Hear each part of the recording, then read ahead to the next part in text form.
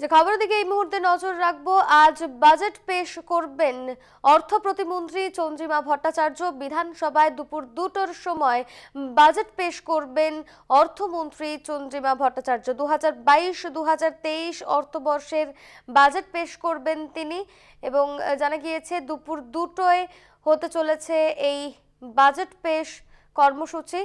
বাজেটে নজর থাকবে শিল্প, পরিকাঠামো, উন্নয়নে।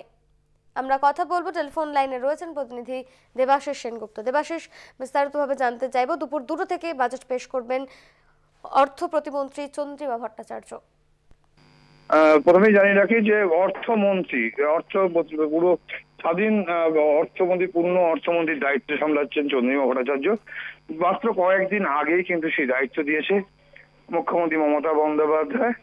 চন্দ্রিমা ভট্টাচার্যকে অর্থমন্ত্রীর দায়িত্ব এবং তিনি কিন্তু আজকে দুটোর সময় বাজেট পেশ করবেন এবং সে বাজেটের আগেই প্রথমে যেটা নিয়ম অনুযায়ী, প্রথম অনুযায়ী মুখ্যমন্ত্রীর ক্যাবিনেট বৈঠক হয় বাজেট সেখানে পাশ হয়, তারপরে সেখানে কিন্তু পেশ করা হবে বাজেট এবং অর্থমন্ত্রী সেই বাজেট বক্তব্য রাখবে।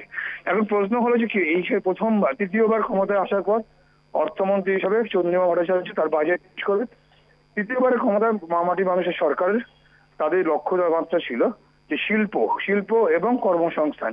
এবং সেদিকে নজর রেখেই বাজেট করতে পারে এমনটাই কিন্তু মনে করা হচ্ছে বিশেষজ্ঞ মহল। একদিকে যেমন শিল্প, পাশাপাশি পরিকাঠামো খাতে যে বরাদ্দ বাড়বে, এটা এ নিয়ে কিন্তু মনে করছে বিশেষজ্ঞ মহল যে রাজ্যের যে দৃষ্টিভঙ্গি, কর্মসংস্থান এবং শিল্প, এই দুটোকে সমন্বয় ঘটিয়ে এই বাজেট তার প্রতিফলন দেখা যেতে পারে, এমনটা বিশেষজ্ঞদের মত। এবং সেই জায়গায় অপেক্ষা করতে হবে যে আজকের এই বাজেটে অর্থাৎ তৃতীয়বারে ক্ষমতায় আসার পরে বাজেটে কি থাকবে চমক, সেটা নিয়ে কিন্তু বিষয়, কিন্তু একটা জিনিস বিষয় করে পরিষ্কার বলছেন যেহেতু রাজ্য সরকারের দৃষ্টিভঙ্গি তৃতীয়বার মুখ্যমন্ত্রী আসন নেওয়ার পরেই কিন্তু মমতা বন্দ্যোপাধ্যায় যে দৃষ্টিভঙ্গি ছিল, যে শিল্প একদিকে পাশাপাশি শিল্প, তার পাশাপাশি কর্মসংস্থান ইতিমধ্যেই রাজ্য সরকার কিন্তু জোর কদমে সেই জায়গায় লক্ষ্যে এগিয়ে যাচ্ছে। ইতিমধ্যে কারিগরি প্রশিক্ষণ দপ্তর কয়েকদিন আগেই যেটা আমাদের জানিয়েছিল, আগামী ছ মাসে।